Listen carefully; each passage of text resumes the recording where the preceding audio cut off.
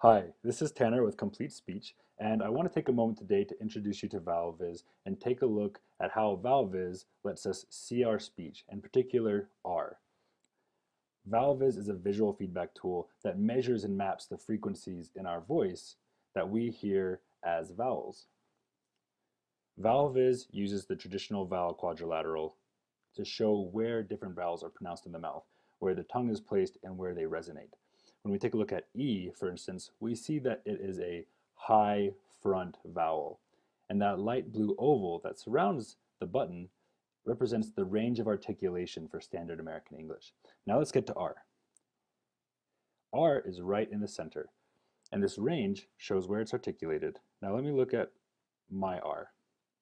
Er, er, er. My R registers right above the button. Now let's look at vocalic R as heard in car, far, art, shark. We can see that there's a clear connection between ah and er as the tracking ball and the tracking tail goes between those two sounds. I'm going to shorten the tail a little bit. Now, R is usually misarticulated as ow. So as heard in cow, foul, out, shalk. So let's compare those. Car, cow, far, foul, art, out, out, shark, shalk.